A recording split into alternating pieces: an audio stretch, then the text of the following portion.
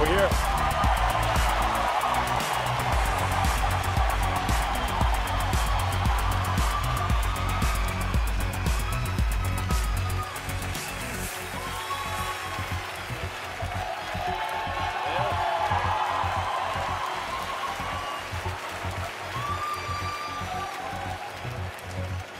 So um, we're going to smash the window again.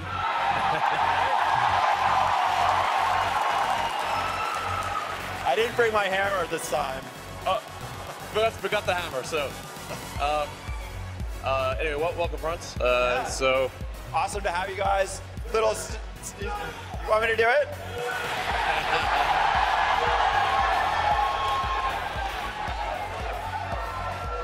I feel like I've broken enough things around here.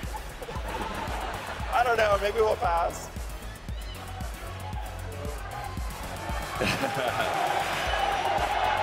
Next time. Next time, I promise. I promise.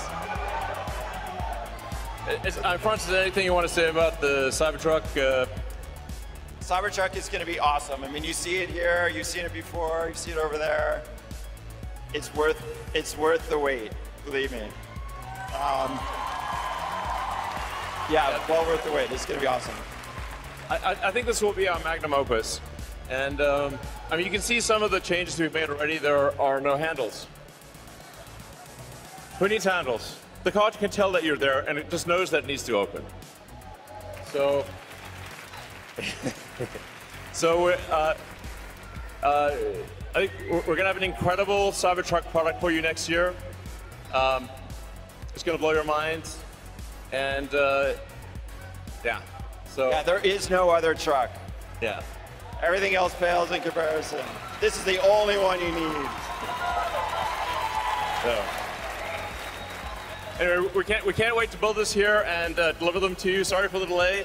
It's been it's been an intense couple of years, uh, uh, but we're gonna have this for you next year, and gonna, it's gonna be great. Um, and it's gonna be like just a whole one kick-ass product after another, uh, uh, starting next year, and then some cool stuff that we haven't even talked about.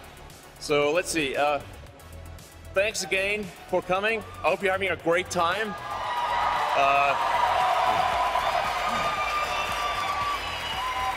Yeah.